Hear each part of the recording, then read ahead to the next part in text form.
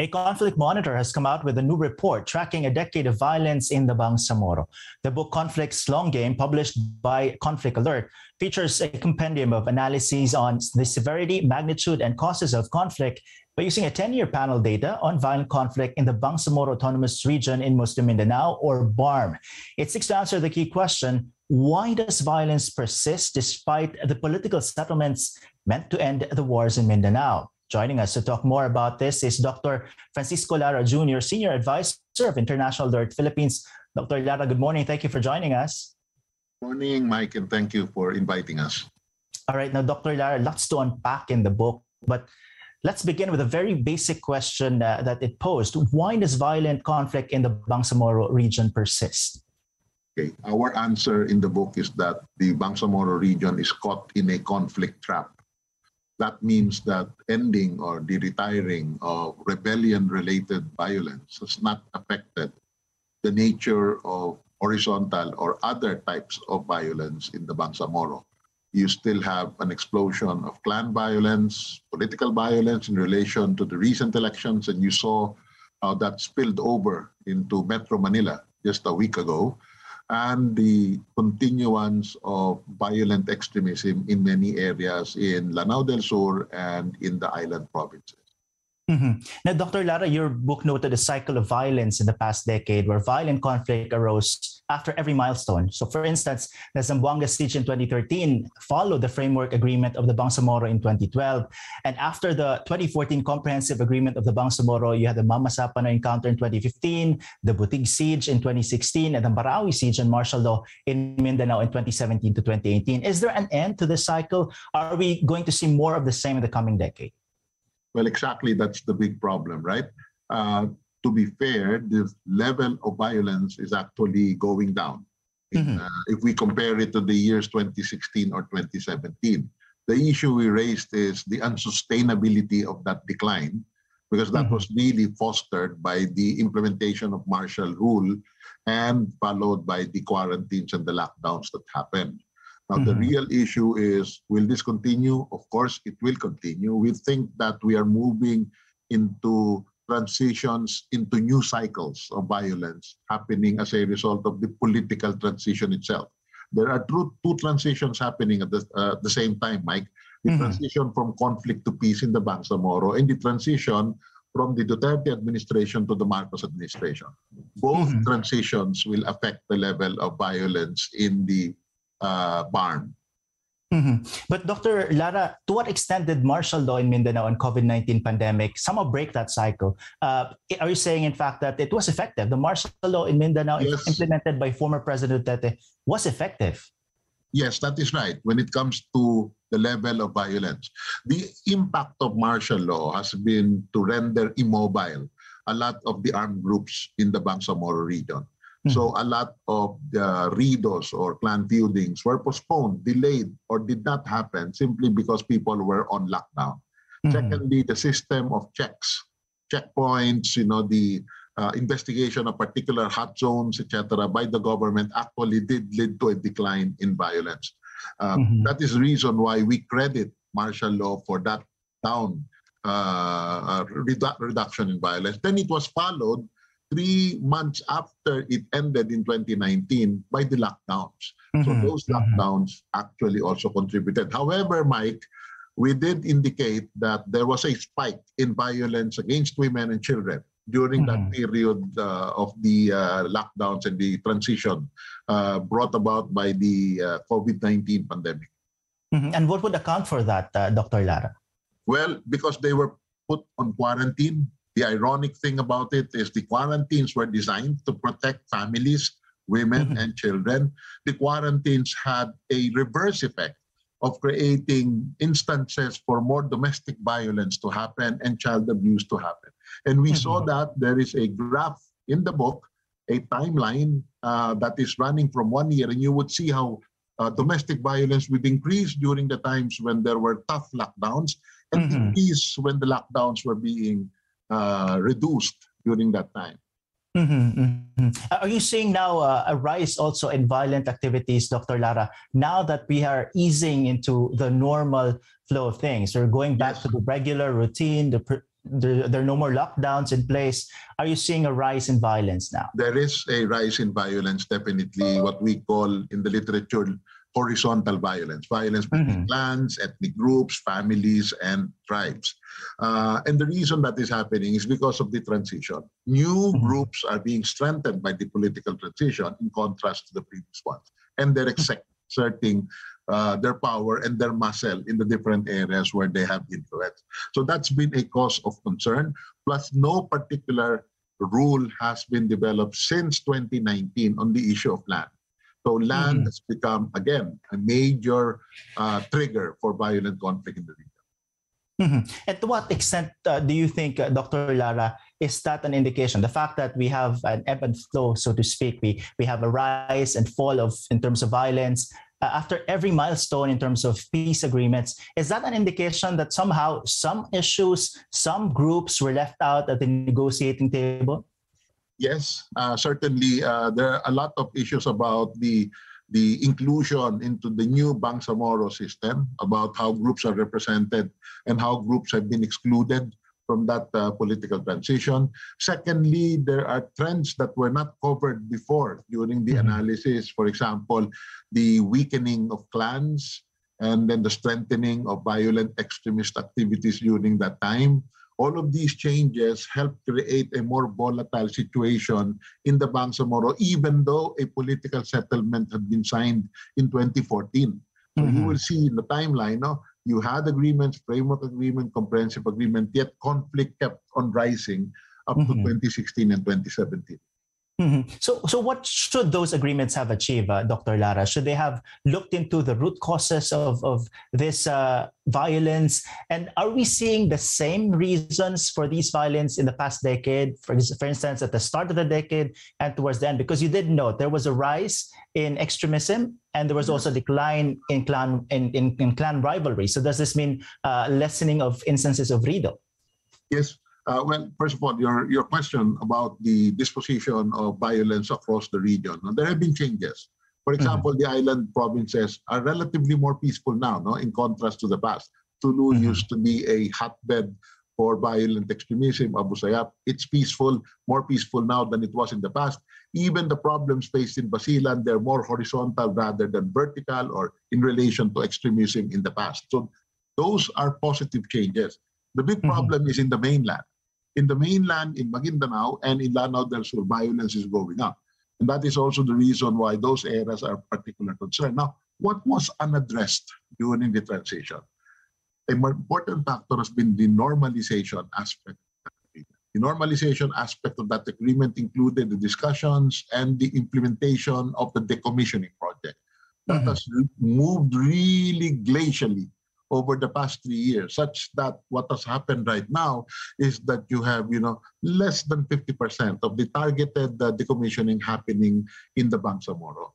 Until mm-hmm. that is resolved, until shadow economies like drugs and weapons are also addressed, and finally, until we are able to solve the problem of land, these problems will continue.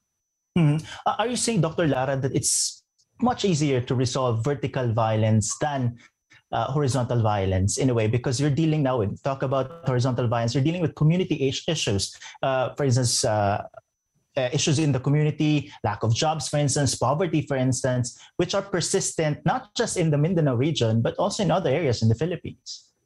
Well, i wouldn't say that the retirement of vertical violence or rebellion mm-hmm. was an easy task.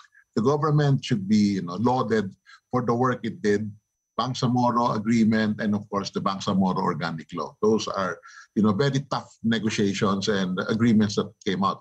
However, one thing was left out, you know, vertical violence or rebellion is related to other types of violence. You know, mm-hmm. it should have had an impact. The problem is if the negotiation, you know, did not resolve particular issues that would also address other types of violence. So, for example, you come up with an agreement you sign a uh, settlement, but you don't address the issue of weapons.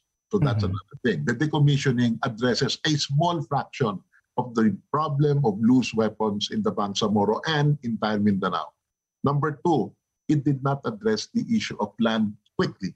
So that was neglected in the implementation process over the three years. Number three, We set up a regional authority, but no election has been undertaken yet to mm-hmm. strengthen the legitimacy of the regional authority. All of these things should have been part of the negotiation, uh, and they were left out. So mm-hmm. the reason why we still have the problems we're encountering today. Mm, and Dr. Lara, one interesting uh, uh, point that you mentioned in that re- in that book in that report is the entry of the NPA in the BARM region. How significant is this? Very significant. We've been monitoring this since 2018 when we saw in reports, you know, incidents or flashpoints in relation to the New People's Army in areas within the Maguindanao province, and then later on in Lanao del Sur.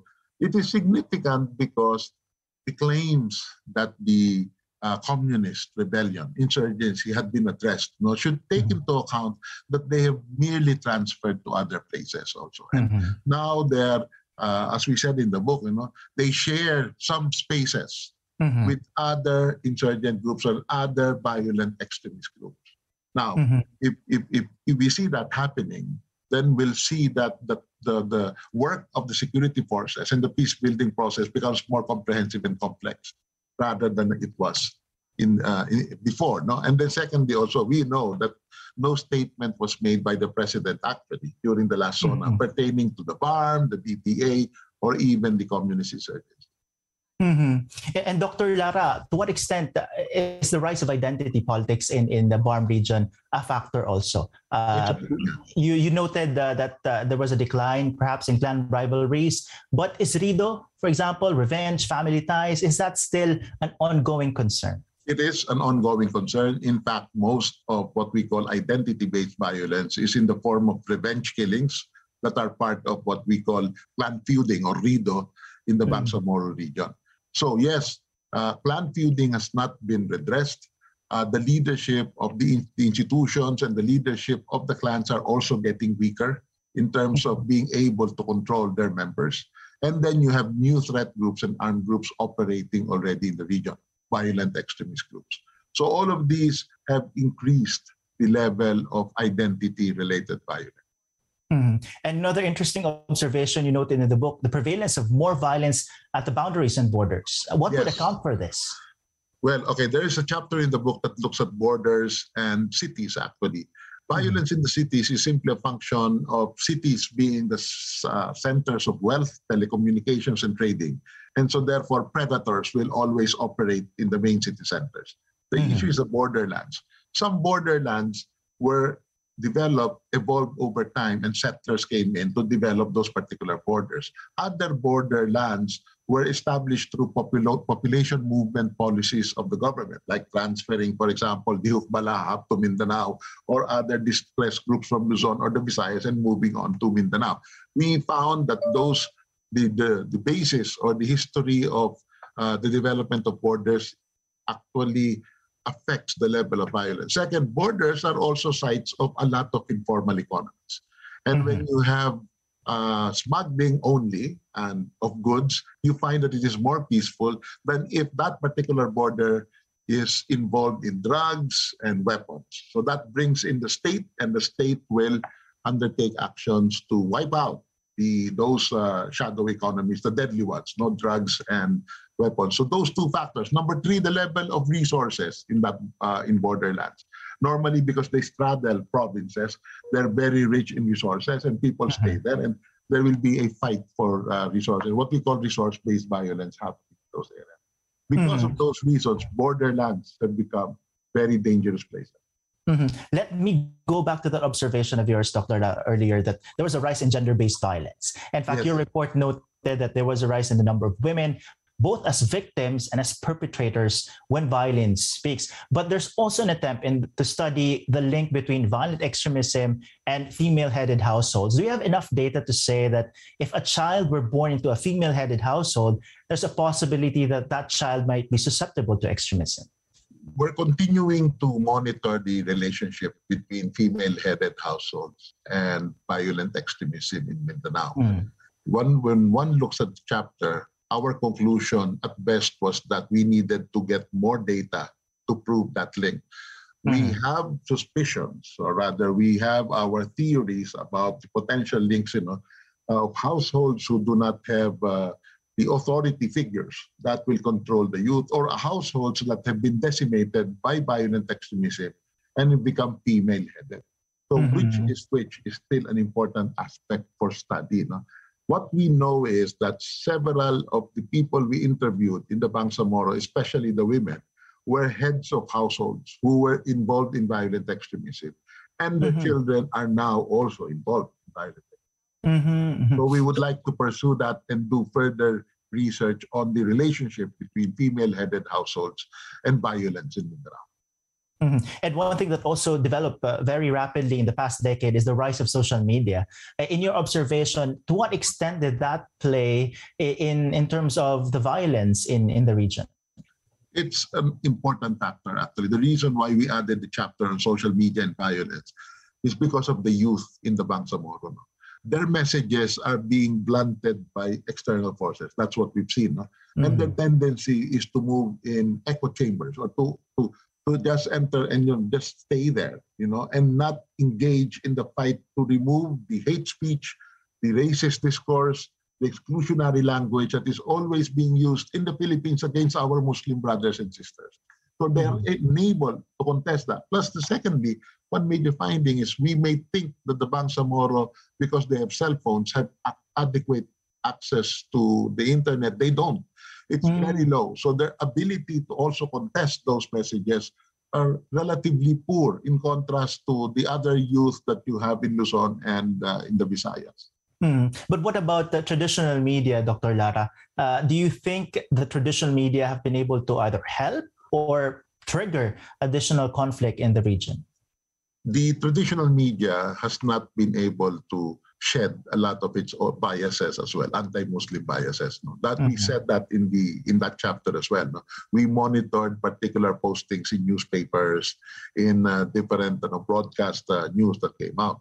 There are particular uh, issues that have to do with the role of media and media being threatened also in those areas. No? So we also mm-hmm. spoke about the the single most uh, violent attack on media in the uh, Maguindanao massacre. No? Mm-hmm. That book. But what is important is this: no? traditional media needs to do more to rid itself of anti-Muslim biases.